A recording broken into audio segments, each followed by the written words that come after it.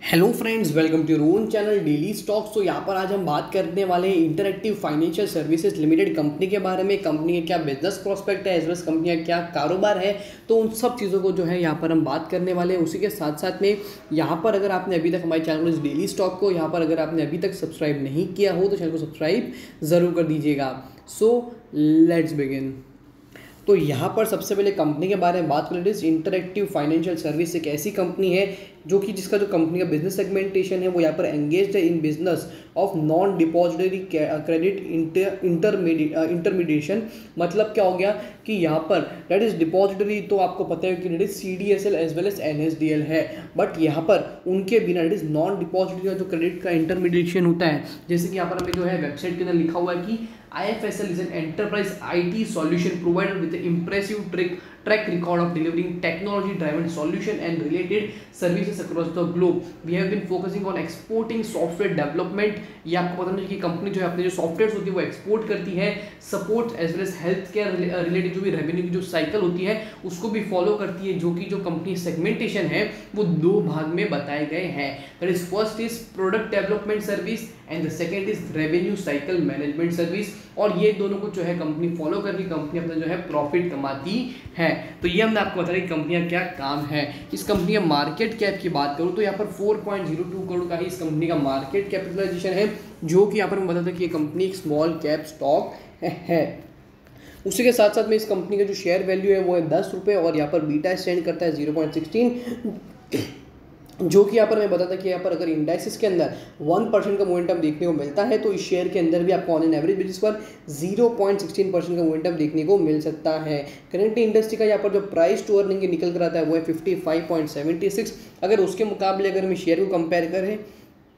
तो एक अच्छे खासे price to earning is three point thirty eight के प्राइस टू अर्निंग पे शेयर यहाँ पर ट्रेड कर रहा है। प्राइस टू बुक के हिसाब से देखें तो ज़ीरो पॉइंट एटी थ्री और बुक वैल्यू भी काफ़ी अच्छी rate sixteen point fifteen rupees की इस कंपनी की यहाँ पर हमें जो है बुक वैल्यू देखने को मिल रही है। तो यहाँ पर बुक वैल्यू के बारे में बात की, अगर कंपनी फाइनेंशियल्स के ऊपर बात करते हैं two thousand eighteen ninety twenty twenty twenty twenty one two thousand eighteen as nineteen के अंदर कंपनी यहाँ पर रेवेन्यू एज प्रॉफिटेबिलिटी काफ़ी अच्छी जो है देखने को मिली थी but twenty twenty as twenty twenty one के अंदर इतना ज़्यादा रेवेन्यू एज प्रॉफिटेबिलिटी आपको बढ़ते हुए देखने को नहीं मिल रही है। ऑल दो ट्वेंटी ट्वेंटी से अगर मैं यहाँ पर ट्वेंटी ट्वेंटी वन को कंपेयर करूँ, यहाँ पर जो कंपनी प्रॉफिट्स हैं, वो ऑलमोस्ट थ्री टाइम्स हो चुके हैं compare to twenty twenty years के कंपैरिजन में 2021 को कंपेयर करें तो बट यहाँ पर कंपनी ने पिछले क्वार्टर में किस तरह का परफॉर्मेंस किया है, उसके ऊपर भी हम यहाँ पर ज़रूर फोकस करने वाले हैं। But the first thing come first is share holding pattern अगर हम यहाँ पर इस कंपनी का कंपेयर करते हैं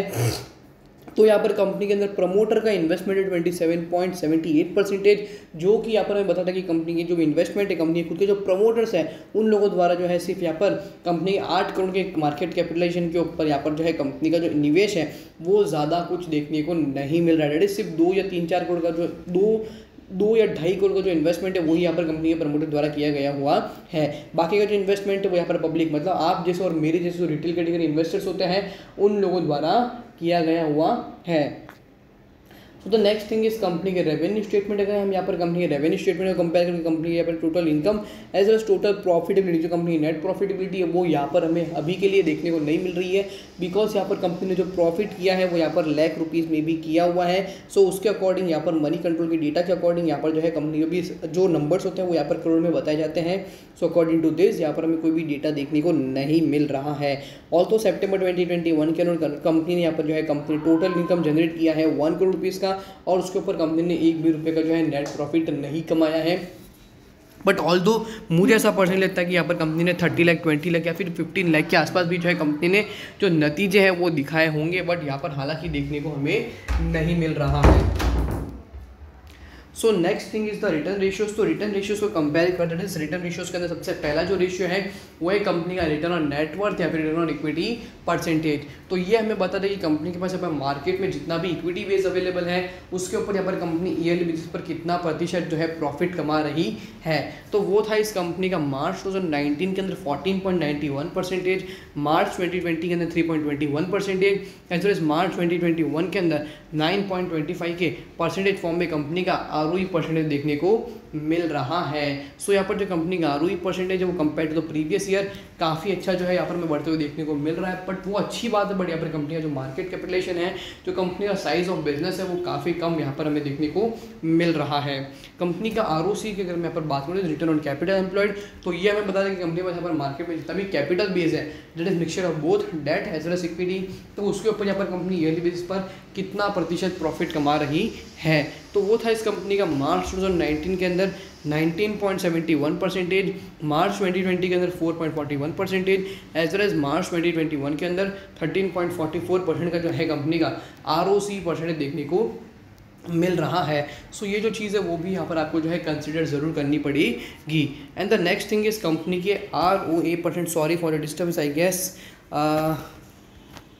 yes हाँ। सो कंपनी के अगर यहाँ पर हम आर ओ परसेंटेज परसेंटेज देखें is return on asset percentage तो ये हमें बताता कि कंपनी के पास अब मार्केट में जितना भी एसेट बेस अवेलेबल है, उसके ऊपर यहाँ पर कंपनी ईयरली बेसिस पर कितना प्रतिशत प्रॉफिट कमाती है। तो वो था इस कंपनी का मार्च टू के अंदर 14.08 परसेंटेज मार्च 2020 के अंदर 3.14 परसेंटेज और मार्च 2021 के अंदर 9.13 परसेंट का आर परसेंटेज देखने को मिल रहा है। And the last thing is जो यहाँ पर हम कंपनी के बारे में कंसिडर करने वाले हैं, वो है कंपनी का लेवरेज रेशियोज तो कंपनी यहाँ पर जो है डेट टू इक्विटी के माध्यम से देखें तो कंपनी यहाँ पर डेट फ्री है। हालाँकि यहाँ पर कंपनी का मार्केट साइज़ इतना कम है so I don't personally think यहाँ पर कंपनी को डेट मिलेगा या फिर चाहेगी तो भी मिलना थोड़ा बहुत मुश्किल हो सकता है। कंपनी के इंटरेस्ट कवरेज रेशियो परसेंटेज जो कि यहाँ पर हम बता दें कि कंपनी की अपन क्या कैपेसिटी मार्केट में इंटरेस्ट पे करने की? तो जो कैपेसिटी होती है, वो यहाँ पर हम बताते हैं कंपनी के इंटरेस्ट कवरेज रेशियो परसेंटेज में। तो ये भी जो है, हमें काफ़ी अच्छी तरह से बढ़ते हुए देखने को मिल रहा है। But I don't personally think यहाँ पर जो है कंपनी ने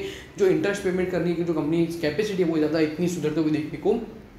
मिल रही है कंपनी के जितना भी मार्केट कैपिटेशन के हिसाब से अगर हम यहाँ पर कंपैरिजन करें तो and the last thing is company की मार्केट प्राइस सो करंटली यहाँ पर जो है thirteen point three three that is four point ninety six percent की तेज़ी के साथ में यहाँ पर जो है क्लोज ज़रूर हुआ है ये शेयर सो यहाँ पर मार्केट प्रॉस्पेक्ट के हिसाब से बात करें तो शेयर के अंदर तेज़ी यहाँ पर काफ़ी अच्छी तरीके से जो है यहाँ पर हमें बढ़ते हुए देखने को मिल रही है. बट कंसिडरिंग फैक्ट यहाँ पर एक अच्छा सा ब्रेकआउट मिला है तो यहाँ पर आप देख सकते हो कि जो पेनी स्टॉक्स है उसमें तेज़ी देखने मिल रही है. सो अकॉर्डिंगली यहाँ पर आप जो है सोलह सत्रह रुपये तक के जो टारगेट्स है वो यहाँ पर हमें आसान से देखने को मिल सकते हैं करंट मार्केट सिचुएशन के हिसाब से। ऑल दो यहाँ पर अगर आपको स्टॉप लॉस मेंटेन करना हो तो यहाँ पर आप जो है ट्वेल्व पॉइंट फाइव का स्टॉप लॉस लगा के यहाँ पर मेंटेन कर सकते हो टेक्निकल बेसिस पर। बट यहाँ पर फंडामेंटल बेसिस के हिसाब से भी कंसिडर करें तो यहाँ पर इन्वेस्टमेंट की एडवाइस नहीं दी जाएगी बिकॉज़ इसका कंपनी मार्केट कैप कम है लिक्विडिटी कम है तो यहाँ पर जो है अकॉर्डिंगली जैसे जैसे लोगों के माइंड होंगे, उसके हिसाब से इस प्राइस के अंदर जो है फ्लक्चुएशन आपको देखने को मिल सकते हैं। सो होप करता हूँ कि आपको interactive financial service limited company का यहाँ पर हमने जिस तरह एनालिसिस किया,